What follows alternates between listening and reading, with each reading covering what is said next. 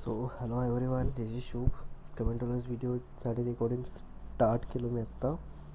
Just आता जेवढा पण प्रॉब्लेम मला दिसला माझ्या डोळ्यासमोर येणार. सर्व प्रॉब्लेमचे सोल्युशन देण्याचा पूर्णपणे प्रयत्न करणार. पॉसिबल नसते. कारण मी एका मिन एक मिनिट दोन मिनिट असं बोलत नाही ना म्हणजे वेळ काढून. लाईक पाच मिनिट सहा मिनिट फक्त म्हणून. जेवढं सजेशन असतं तेवढं सजेशन देतो. पूर्ण टोल मग तिकडे वीस मिनटं जाऊ दे किंवा पंधरा मिनटं जाऊ दे. सो म्हणून पॉसिबल नसते. बिकॉज सजेशन वाईज सजेशन देतो ना. असं नाही आता पाच मिनटाचं सजेशन द्यायचं आहे म्हणजे फक्त पाचच मिनिट घेणार मी. ओके म्हणून वेळ लागतो. So please try to understand okay सर्वांच्या लाईफमध्ये प्रॉब्लेम असतात. अँड सोल्युशन देणारा फक्त एकच जण आहे. अँड एडिटिंग एडिटिंग पण मलाच करावं लागतं. ठीक आहे? थोडं अंडरस्टँड करा बाकी काही नाही बोलायचं आहे मला. चलो आता मी स्टार्ट करतो. जास्त काहीच नाही बोलत इथं. स्टार्ट करतो रेकॉर्डिंग ठीक आहे? सो प्रॉब्लेम आहे का मुलीचा? अँड व्हॉट्सअपवर मेसेज आहे. रिलेशनशिप सॉरी पाच महिन्यापासून रिलेशनशिपमध्ये होतो. आम्ही एकाच गावात राहतो. आमची कास्ट वेगळी आहे. ओके कास्ट सांगितली मला ती बट मी ती नाही सांगणार. आमची एज ट्वेंटी थ्री आहे. आम्ही व first standard to fourth standard एकाच क्लासमध्ये होतो. दोन इयर्सपूर्वी आम्ही दोन सॉरी दो टू इयर्सपूर्वी आम्ही एफ बीवर परत भेटलो. मग त्याने एक एप्रिलला प्रपोज केला. मी त्याला सोळा ऑगस्टला हो बोलली. एप्रिल मे जून जुलै ऑगस्ट. ओके त्याला माझ्याशी लग्न पण करायचं होतं. मग त्याने बिझनेस सुरू केला नवीन. त्या अगोदर पण त्याचा बिझनेस होता. सर्व ठीक होता. आम्ही दहा पंधरा दिवसांनी भेटायचो. ओके गुड पण जेव्हा बिझनेसमध्ये प्रॉब्लेम यायला लागले तेव्हापासून तो डिस्टर्ब झाला. ओके आमच्यात सगळं काही झालं आहे oh. ओ आम्ही कधी विचार पण नाही करायचो की वेगळं हो म्हणून. तो विचार केलाच नाही आम्ही. ठीक आहे. पण काही दिवसांपूर्वी आई मला बोलली की एखाद्या मुलाच्या मागे लागून आयुष्य खराब नको करू. ओके. ते बोलली मी त्याला की आई असं बोलली. तो तेच घेऊन बसला. तो म्हणे माझ्याकडे काहीच नाही. मी कसं काय तुझ्यासोबत राहू? आता तू सांग काय करू मी त्याला? काय बोलू मी त्याला? प्लीज काहीतरी सोल्युशन दे. तो ऐकतच नाही. शू प्लीज रिप्लाय दे. ओके सो लिसन um, जेव्हा आपण रिलेशनशिपमध्ये येतो जेव्हा आपण प्रेमाला आपण आपण एखाद्याला प्रपोज करतो जेव्हा आपण आपले फिलिंग एक्सप्रेस करतो जेव्हा आपण कन्फेस करतो की हां दॅट आय लव्ह यू वगैरे तर त्यावेळेस ही मुलं किंवा कोणती पण मुलगी हे नाही बघत की कास्ट वेगळी आहे. मग मी समोर फ्युचरमध्ये काही करू शकणार की नाही? हां? किंवा मग माझ्याकडे इतका पैसा आहे का? किंवा मग मुलगी रिच आहे अँड माझ्याकडे त्या मुली एवढा पैसा नाही आहे. त्याच्याकडे तेवढा पैसा त्याच्या अर्धा पण माझ्याकडे पैसा नाही आहे. तर मग ही खरंच माझ्यासोबत राहू शकणार का? हिला मी या लेवलची हॅपीनेस देऊ शकणार का? या अशा घरात मी हिला ठेवू शकणार का? सो असला कोणताच विचार नाही करत हे मुलं. अँड सडनली जातात आणि बेबी आय लव्ह यू मी तुझ्यावर खरंच खूप प्रेम करतो. तुझी शेवटपर्यंत साथ देईन. तू म्हणशील तर आपण लग्न पण करू. ती म्हणू की म्हणते मग कास्ट डिफरंट आहे ना बाबू मग आपली मग आपण कसं लग्न करायचं? तू नको टेन्शन घेऊ गं. मी आहे ना आणि माहिती आहे तुला खरं प्रेम केला ना तर सगळं काय म्हणते? हां सर्व सॉल्ट आउट होते. सर्व काय म्हणते? सॉर्ट आउट होते. सगळे प्रॉब्लेम्स क्लिअर होतात. सो तू नको टेन्शन घेऊ. Please stay with me be with me I love you हां बाबू ठीक आहे. लव्ह यू टू बस झाला. इथून त्यांचा चॅप्टर चालू होतो आणि मग ते येतात कुठपर्यंत? सगळं काही होतपर्यंत. मग जर ते सगळं काही झालं तर लगेच त्यांचं चालू होते. म्हणजे मुलगा डिस्टर्ब होतो ना. कोणता पण रिझन असो काय पण असो मला असं नाही बोलत आहे की हा मुलगा प्रेम नाही करत किंवा हा मुलगा हे नाही करत ते नाही करत. बट मी एक्झॅक्ट प्रॉब्लेम सांगून राहिलो की स्टार्टिंग कुठून होते अँड एंड कुठं होतं? अँड कसा होतो अँड का होतो? ठीक आहे? जसं सांगितलं मी रिलेशनशिपमध्ये म्हणजे कसं? फॉर एक्झाम्पल रिलेशनशिपमध्ये आता आले ठीक आहे? पण यायच्या आधी त्या मुलांना बघितलं का? की मुलगी म्हणजे मी म्हणजे स्वतःला बघितलं का? नाही बघितलं. की मी हिला गोष्ट होतो शकणार की नाही? म्हणजे चल फॉर एक्झाम्पल तो बघितला पण असेल बिझनेस स्टार्ट करताना ठीक आहे? बट हे तर नव्हतं माहिती ना की त्याला की बिझनेस माझा कन्फर्म होईल म्हणजे सक्सेसच होऊन जाणार असं नसते काही. त्याच्या नशिबात तो म्हणजे काही देव नव्हता ना. जे त्याला माहीत आहे की हा माझा बिझनेस सक्सेस होणार तो आता मी त्याच्यासोबत सगळं काही करणार. आणि मग लग्न. सडनली हे सगळ्या होप सुटून गेल्या. का? कारण बिझनेस डाऊन झाला. सो अशा प्रकारची स्टुपिडिटी ह्या मुलाने केली. ओके सो तुला सजेशन देताना मी तुला हे सांगणार. हां की हे बघ. जेव्हा आपण एखाद्याला प्रपोज करतो की हां मी तुझ्यावर खूप जास्त प्रेम करतो आणि मला तुझ्यासोबत लग्न करायचं आहे अँड सडनली घरचे बोलतात असं असं आणि मग मुलगा आपली होप सोडून देतो. तर आपल्याला इथं मुलगा आपल्याला इथं होप नसते सोडायची. ठीक आहे? एक मुलगी पण असेल ना तर ती पण होप सोडत नाही. तिला जर कोणी म्हटलं की तू काळी आहेस तू लहान आहेस तुझी हाईट कमी आहे किंवा मग तू खूप बारीक आहेस किंवा मग तू खूप फॅट आहेस किंवा मग तुझा नाक असा आहे किंवा मग तुझे डोळे असे आहे किंवा मग तुझं तोंड असं आहे मग तुझे हेअर्स कमी आहेत तुझे लहान केस आहेत एक्सेट्रा एक्सेट्रा यार मुलींना किती काय ऐकावं लागतं यार सिरियसली यार. हां तर मग मुलगी काय करते माहीत आहे का? तुला इतकंच प्रॉब्लेम आहे ना तर चल मला सोडून दे. अशा मुली टेन पर्सेंट म्हणतात पण ज्या नव्वद टक्के मुली असतात ना त्या मुली म्हणतात माझे केस कमी आहेत ना. चल ठीक आहे. ठीक आहे. Okay fine okay fine okay fine म्हणून तिथून निघून जातात आणि त्या लगेच जाऊन कोणत्या गोष्टीच्या मागे लागतात? केस वाढवण्याच्या गोष्टीच्या मागे लागतात. का? कारण त्यांना ते अचीव करायचं आहे. त्यांनी जे आपला एक गोल बनवला आहे की रिलेशनशिपमध्ये आल्याच्यानंतर त्या मुलासोबत काही नसेल झालं तरी ती मुलगी सिरियस असते. कारण त्याचा हा असतो की तिचं प्रेम आहे त्याच्यावर. आणि ते प्रेम असल्यामुळे ते अचीव करायचं आहे त्याला. सॉरी तिला. की त्या मुलासोबत लग्न करून त्याची लाईफ जी ती बघितली होती ती अचीव करायची आहे. का? कारण तो कारण ती प्रेम करते. हं? ह्या जर मुलाच्या मनात जर असेल सगळं काही करायचं लाईक रिलेशनशिपमध्ये आहे तर आता लग्न करायचं अँड ऑल तर हा मुलगा त्या मुलीला बोलणार की तुला असं बोललं तुझी आई ठीक आहे ना तू नको टेन्शन घेऊ तू नको विचार करू इतका. ठीक आहे आपण करू सगळं मिळून आपण दोघं पण मिळून सगळं सॉर्ट आउट करू आपण. सो ह्या प्रकारची तो तिला पॉझिटिव्हिटी दिला असता एक पॉझिटिव्ह एक कॉन्फिडन्स त्याच्यामध्ये टाकला असता तर ती पण मुलगी तिकडे बोलली असते तिच्या आईला की मम्मी प्लीज असं नको ना बोलू गं. हे बघ मम्मी आता तो स्टार्ट केला आहे का बिझनेस मग आता होईल ना नवीन मम्मी काहीतरी. आणि डोंट वरी मामा त्यासोबत सग म्हणजे तो आपल्या लाईफमध्ये सक्सेस झाल्यावरच आपण लग्न करणार ना आम्ही. तर तू नको टेन्शन घेऊ. आणि जर नाहीच केलं त्याने तर मग मी दुसऱ्यासोबत लग्न करणार. ते पण तुमच्या अकॉर्डिंग म्हणजे तुम्ही जेव्हा ज्याच्याशी बोलणार त्याच्याशी. ॲटलीस्ट मामा एक तरी चान्स दे ना म्हणजे अशा प्रकारची पॉझिटिव्ह एक कॉन्फिडन्स तिच्यामध्ये येणार आणि ती मम्मीला आपल्या किंवा पप्पाला आपल्या अशा समजावून सांगणार.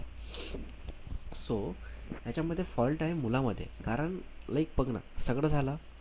एव्हरीथिंग यार, एका मुलाला पाहिजे काय असतं रिलेशनशिपमध्ये आल्याच्यानंतर तो एक, एकच गोष्ट फक्त एक्सपेक्ट करतो मुलीकडून की मला सगळं काय करायचं आहे अँड इझिली कोणत्या मुली कन्व्हिन्स नाही होत या गोष्टीसाठी. बट ही झाली अँड ही केली. सो याचा अर्थ काय झाला? त्याला जे हवं होतं, ते त्याला भेटलं. आता प्रॉब्लेम झाला बिझनेसमध्ये म्हणून तो त्याला सोडण्याचा प्रयत्न करता ऑल असं काही नसतं.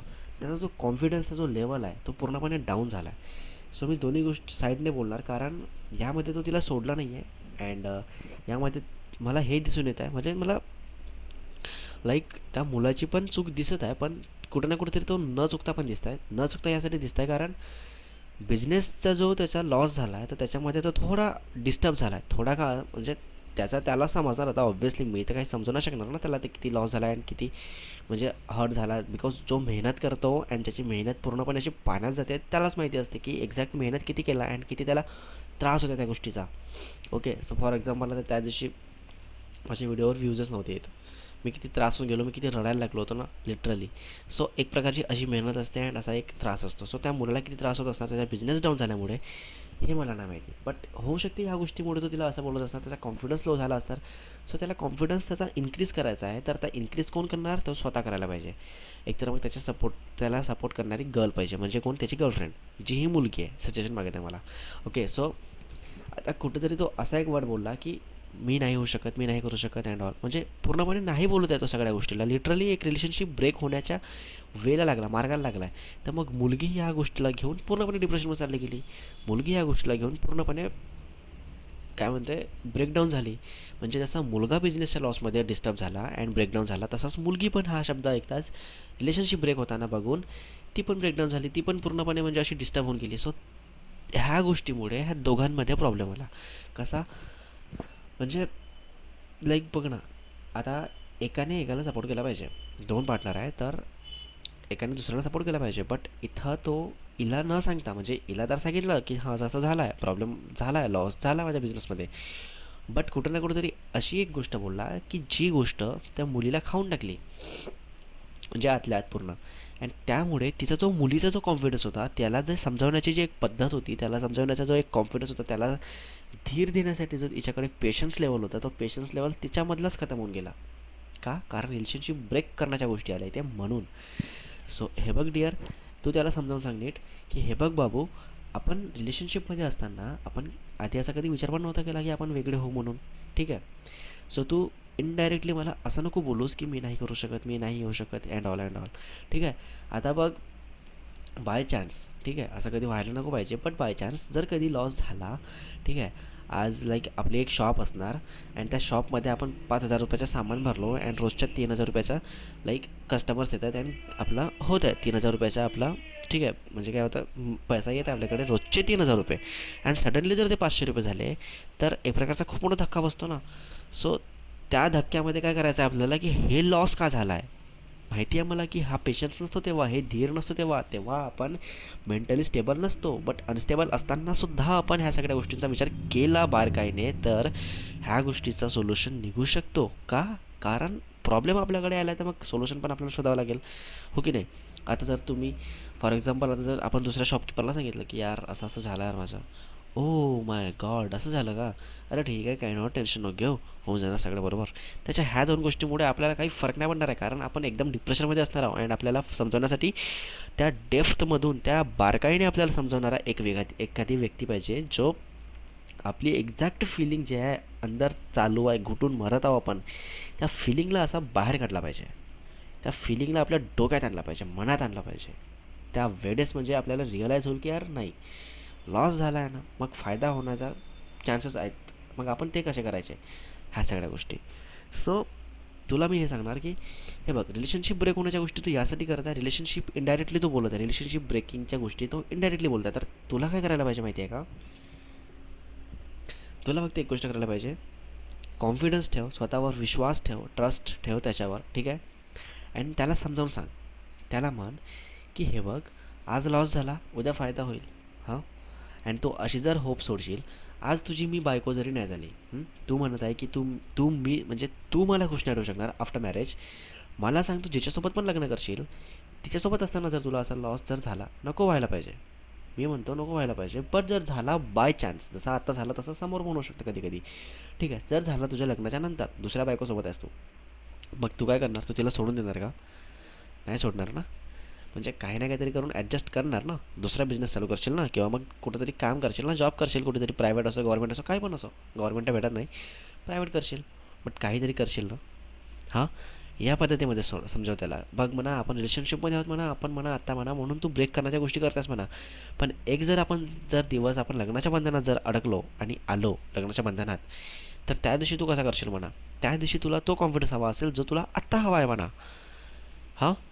म्हणजे एक तू विचार कर ना म्हणा. आपण फक्त रिलेशनशिपमध्ये नाही आहो म्हणा. जेव्हा आपण एकमेकांना सोडायचा एकमेकांपासून लांब होण्याचाच आपण जेव्हा कधी म्हणजे विचारच नव्हता केला तर मग तू आत्ता का तो विचार करताय म्हणा? आत्ता का तुला या सगळ्या गोष्टी दिसत आहे म्हणा? आत्ता ह्या सगळ्या गोष्टीचा विचार न करता जर तू माझ्यासोबत राहून जर मला नको देऊ ना टाईम तू आपला कर ना बिझनेस स्टार्ट कर नवीन किंवा मग जो बिझनेसचा लॉस झाला त्याच्या कामामध्ये लागणार मग ते कसा रिकवर करायचा ते कसा हे करायचं त्याच्यामध्ये मेहनत कर ना. एक्स्ट्रा मेहनत कर ओव्हर मेहनत कर. कर ना मनापासून मेहनत कर चोवीस तास मेहनत कर ना माझ्यासोबत नको बोलू म्हणा. बट जेवण केली का? मी पण जेवण केलो. तुझं झालं का? माझं पण झालं. तू काय करत आहे? मी हे करत आहे. ते मी करत आहे. मी हे करत आहे. मग मी बाहेर चाललो. ह्या सगळ्या गोष्टी तरी ॲटलिस्ट तू एका दिवसामधून अर्धा तास तरी किमान बोलू शकतो ना? दिवसभराचे जे काही पूर्ण म्हणजे मेहनत आहे लाईक थकान आहे हां? तर ते थकान आपल्या पार्टनरसोबत बोलून आपण कमी करू शकतो. ऑब्व्हियसली अँड आपण जेव्हा आपल्या पार्टनरसोबत बोलतो तर आपले पार्टनर आपला काहीतरी चांगलाच बघणार ना? अँड तुझे पार्टनर इतकं प्रेम करते तुझ्यावर? हे बघ बॉय सर तुझं नाव नाही माहिती मला आता बॉयच म्हणणार. हे बघ तुझी पार्टनर तुझ्यावर इतकं प्रेम करते की तुला म्हणजे लाईक चक्क ती रिलेशनशिपला वाचवण्यासाठी माझ्याकडे सजेशन मागत आहे. तर तुला फक्त इतकं समजायचं आहे की जी मुलगी तुझ्यावर इतकं प्रेम करून म्हणजे लाईक सर्व काही शेअर केली आहे फक्त त्या मुलीला असं नको बोलू की तिचा मन कुठेतरी तुटून जाणार आणि विश्वासच नसणार कोणावर जीवनासमोर ठीक आहे? सो थोडंसं समजून घे. बिझनेसमध्ये लॉस झाला आहे मी नाही समजू शकत तुझी फिलिंग तुला काय फील होत आहे बट तू समजू शकतो. मग तू ज्या लेवलमध्ये हर्ट झाला आहे तू ज्या लेवलने तू ब्रेकडाऊन झाला आहे त्याच लेवलनं उठायचा पण प्रयत्न कर. हां? कारण ज्या जेव्हा आपण म्हणजे लाईक गाडी शिकत असताना जेव्हा आपण पडतो आपण तोंडाच्या आभारी आभारी नाही सॉरी तोंडाच्या दिशेने. तर तेव्हाच आपण म्हणजे जेव्हा आपण गाडी शिकतो तर मग तेच गाडी आपण समोरचा असा जो हे असतो चक्का असतो ते आपण उचलतो. म्हणजे कसं तोंड एकदम सडनली वर आला आपला. कसा आला? सडनली वर आला. म्हणजे एक प्रकारचा आपण बाईक रायडर झालो ना स्टंटमॅन झालो ना. सो मला या गोष्टीमधून तुला एकच सांगायचं आहे की ज्या दिशेने आपण पडलो त्याच दिशेने आपण अशी उठत आहोत की लाईक सडनली लोक तारीफ करत आहे आपली. ऑब्व्हियसली स्टंट बघून तारीफच करणार लोक. सो त्याचप्रकारे जर तू रिलेशनशिपमध्ये जर ज्या लेवलने तुझा बिझनेस डाऊन झाला त्याच लेवलने बिझनेस जेव्हा अप होणार तर रिलेशनशिपमध्ये तुझ्या चार चांद लागणार. हॅपीनेसची एक बहार येईल. हो की नाही? सो आपल्या पार्टनरसोबत राहा. तिला सोडण्याचा प्रयत्न नको करू. ठीक आहे? एक मुलगी इतक्या इझिली प्रेम करत नाही. म्हणजे इतका सहजासहजी प्रेम करून सगळ्या गोष्टी शेअर नाही करत. ठीक आहे? आणि तुम्ही म्हणताय की फक्त पाच महिन्यापासूनच रिलेशनशिपमध्ये आहे आणि पाच महिन्यामध्ये एव्हरीथिंग इज लाईक डन तर मग खूप मोठी गोष्ट आहे ही एका मुलीसाठी. ठीक आहे? इतका विश्वास दाखवला त्या मुलीने तुझ्यावर. मग त्या मुलीच्या विश्वासाची तरी थोडी रिस्पेक्ट करून तिच्यासोबत राहा. अँड हे बघ डिअर तू तू त्याला छान समजावून सांग. ह्या गोष्टी सगळ्या. हवं तर ही रेकॉर्डिंग पण त्याला ऐकाव माझं सजेशन ठीक आहे? नसेल ऐकायचं तर नको ऐकू म्हणा बट तुला मी या सगळ्या गोष्टी ज्या सांगितलो तू त्याला समजावून सांग की आपल्या लाईफमध्ये असा उतार चढाव येतच असणार म्हणा. ठीक आहे? बिझनेसमध्ये आपण बिझनेसमॅन आहो किंवा प्रायव्हेट जॉब जरी असली तरी एक दोन महिने पेमेंट नाहीच होत म्हणा. हां? असं नाही ना की बारा बाराच्या बाराही महिने पेमेंट होणार आहे किंवा मग हेच होणार आहे. बाराच्या बारा महिने पेमेंट नाही होत खूप लोकांचे. इवन गव्हर्मेंटचे पण नाही होत. गव्हर्मेंटमध्ये पण आपण जर नोकरी करत असणार ना त्यांचे पण पेमेंट्स अडवण्यात येतात. हे काहीतरी मार्चिंग असते ना तेव्हा काहीतरी अडवतात पेमेंट आय थिंक सो त्याच्या आधी किंवा त्याच्यानंतर किंवा तेव्हाच. ओके सो थोडंसं धीर ठेवायला पाहिजे थोडंसं पेशन्स ठेवायला पाहिजे. सडनली आपण जर गिवअप केलं तर मग आपल्या लाईफमध्ये आपण कधी काही अचीवच नाही करू शकत ना. ओके नाही लाईफमध्ये जर मोठे मोठे जर गोल आपल्याला जर अचीव करायचे असणार तर आपल्याला खूप काही सहन करावं लागेल. खूप काही मेहनत करावी लागेल. खूप काही आपल्या पार्टनरला समजावून सांगावं लागेल समजून घ्यावं लागेल ना. सडनली आपण डिच करता व्हॉट इज दिस हे बरोबर नसतं ठीक आहे? Thank you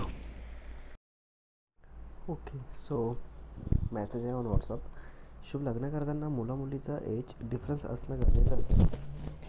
मुलीपेक्षा मुलगा दहा इयरनी मोठा आहे. दहा इयरचा डिफरन्स खूप जास्त वाटत नाही का? आ, हे बघ.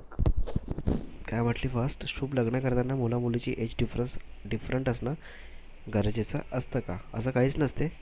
ठीक आहे. मुला मुलीची एजमध्ये काही फरक म्हणजे दोन वर्ष तीन वर्षाचा असलाच पाहिजे. अशातला काही भाग नसतो. ठीक आहे?